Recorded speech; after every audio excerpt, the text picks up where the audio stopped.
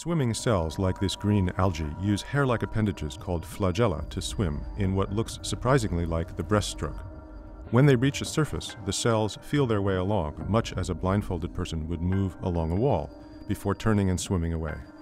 This is the first time this feature of algal swimming has been observed. It tells us that these processes are not governed by the movement of fluid near the surface, but by the organism itself.